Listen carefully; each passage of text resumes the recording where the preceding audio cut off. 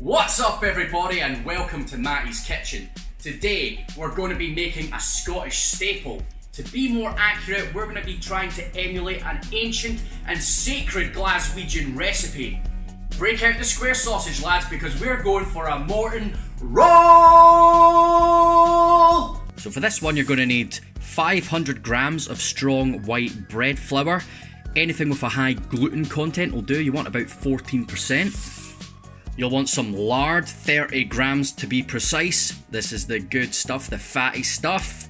10 grams of sugar, 10 grams of salt, one packet or 5 grams of fast acting yeast or easy bake yeast, 400 milliliters of cold water, and then for the coating, you're going to want to use 50 grams of plain flour or self-raising if that's all you've got, and then 50 grams of rice flour. I don't have any rice flour. I couldn't get any except on Amazon, and they wanted me to spend another 15 pound to get it delivered.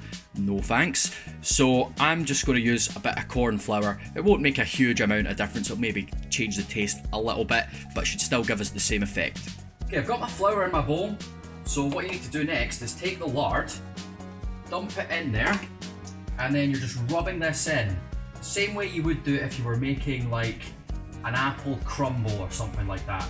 Except you would obviously use butter fat, not lard, unless you're some kind of fat fuck like me. But you just rub it in, get that all incorporated as much as you can. And once you've done that, you're getting your yeast, your salt, and your sugar, and just adding that in there too. And give it a good stir around. Don't be afraid to use your hands, you're going to have to knead the dough anyway, so you might as well. Next up, you're going to want to grab your 400 mils of water and add that in there as well. It seems like a lot, but because this is a high gluten dough, it will absorb the water pretty quickly. So just get that all mixed up as best you can. Once you've done that and made a mess of your hands, you want to empty that into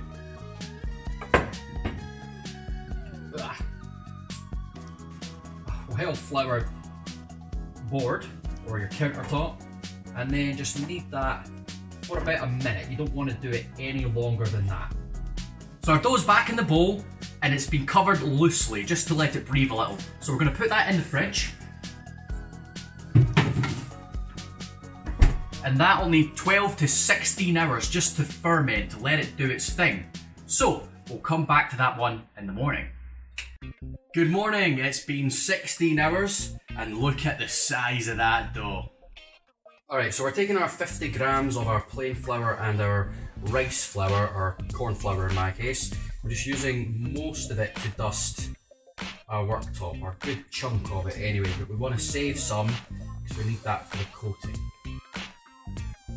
So we're going to empty our still sticky dough onto our countertop. Try and keep as much of the air in as you possibly can.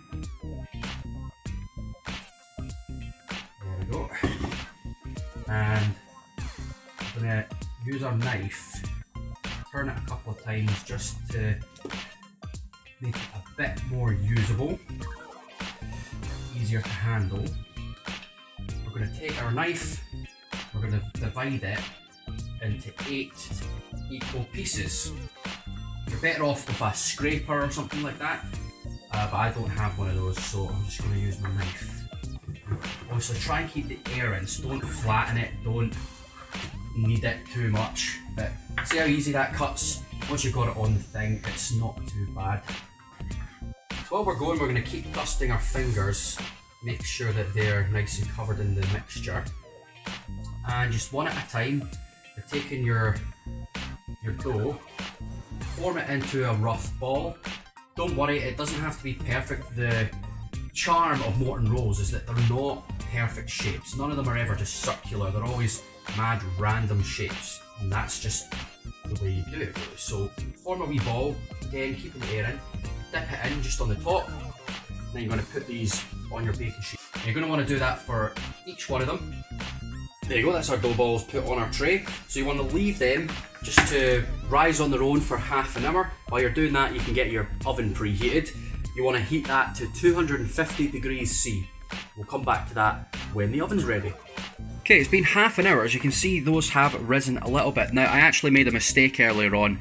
You actually need to leave them for two hours to rise, not half an hour. So, I'm going to leave these for another hour and a half, and then we'll come back to them. I had started to preheat in my oven, but obviously, I'm not going to leave that on for two hours, so I've turned that off, and we'll come back half an hour before again and just start it up again. Look at those, it's been two hours, those have pretty much doubled in size, so that's perfect. It's okay that they've all kind of joined together, that's what you want. That's how you make a proper good morning roll. So, I'm gonna plug these in the oven. Once again, that's at 250, and we're going to leave that for 25 minutes until they're well fired. Just keep an eye on them. Alright, our rolls should be ready. Whew. Steamy. Oh, there you go.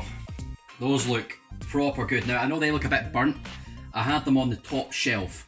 Um, I do like mine well fired anyway, so they should be pretty whew, solid on top. Also fucking roasting. Um, but if you like them a little less well done, obviously just put them onto the middle shelf. That way the tops won't go as black. But a good Scottish Morton roll, you get a good variety of them normally, so I like the well-fired ones personally. What we're going to do is we're going to pop them onto a wire rack, leave them to cool until they reach room temperature, and then we'll give them a go. Looking forward to this. So you can pretty much put whatever you want in these magnificent rolls, but the best filling has just got to be the old square sausage. If you want to know how to make this, check out the link in the description. I made this last week and it was absolutely to die for.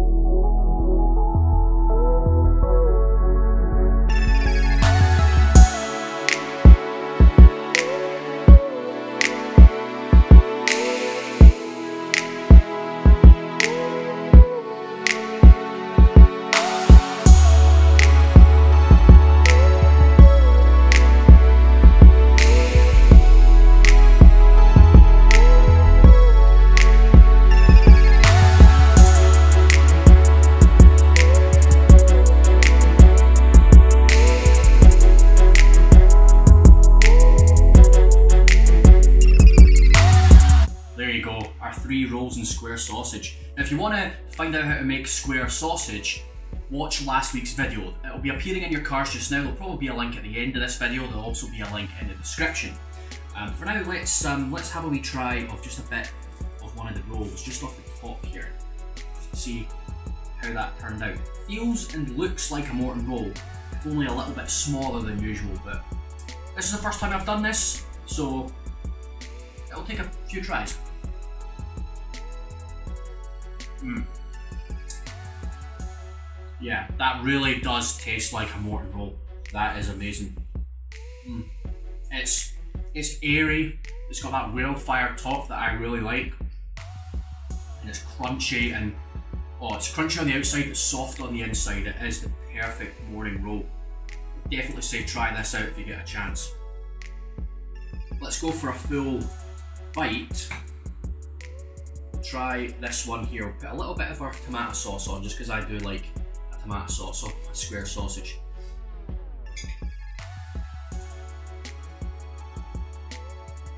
Let's go.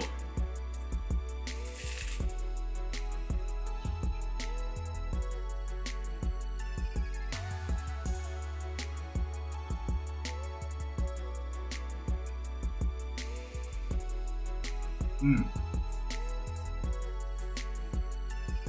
That is nice. It really is the perfect way to eat it as well. Put a little bit of ketchup on there. Tastes really good. Like I say, the rolls are really, really nice. You know, they're crunchy on the outside, they're soft in the middle. You don't need to do them as well fired as this. They should still be quite brown on the top, but they are just so tasty.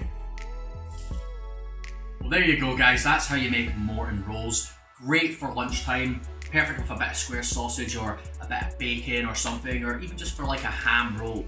They are so good, really, really tasty. I would definitely recommend trying them yourselves. And if you would like to know how to make square sausage, follow the link in the cards or at the end of this video or in the description. I made that last week. It was really, really delicious. I really would recommend giving it a try. That's all for today from Matty's Kitchen. Thanks so much for watching. Please subscribe, like this video, share it on all the social media things. And you can follow me on all the social medias as well. I use Instagram primarily. That about does it. Thank you so much, guys. You all take care. Have yourselves a lovely day. Keep life delicious, eh?